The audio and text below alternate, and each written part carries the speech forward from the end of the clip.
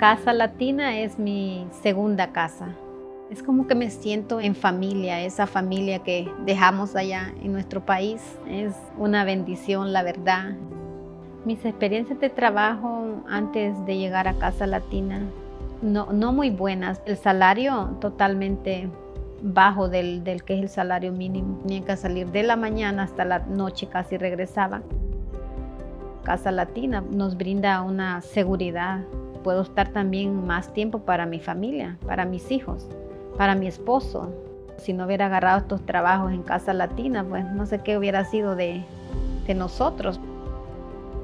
No debemos parar, que debemos continuar, seguir luchando por toda la comunidad.